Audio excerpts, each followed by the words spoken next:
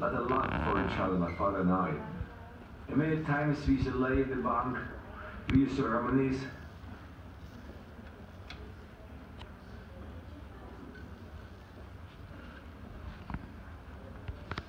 So, the holidays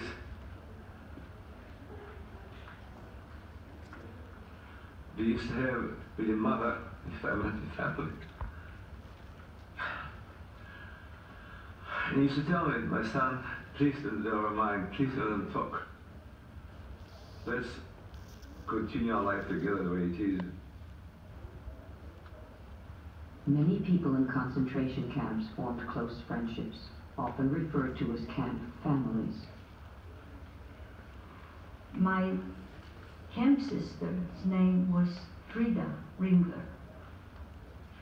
Frida and I were like sisters. She was Czech. We became friendly in Graben, first camp, and we shared everything. When Frida got an extra bowl of soup for some extra work, she would save me a half of it, even if I wasn't around. When she got an extra piece of bread, she would leave me some.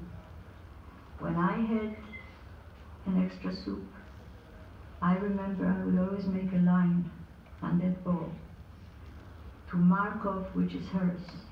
And I remember eating that soup and eating it so slowly, and I would eat and I would come so close to what was Frida's part. For sure, I'm sure, never, never giving her an extra spoon, but never taking a spoon of hers. I never cheated on Frida. And I don't think she ever cheated on me. This man just couldn't take it. Nobody could take it, but some had more strength than others. One day, after exhausted day, a special holiday I think it was, he come back and his ration of bread was stolen disappeared. He says, that's it. He wanted to get kind of our approval that we did not let him die.